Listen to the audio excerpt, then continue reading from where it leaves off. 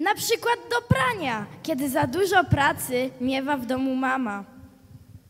Do trzepania dywanów, jazdy odkurzaczem, Do chodzenia z synkiem na lody, na spacer. Do wbijania haczyków w twardy beton ściany, gdy nową szafkę lub obraz wieszamy. Do strugania, gdy złamie się twardy ołówek. Do wkładania do mojej skarbonki złotówek.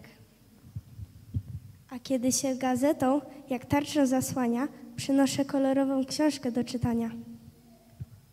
Razem wędrujemy do ostatniej strony. dobrze oswojony.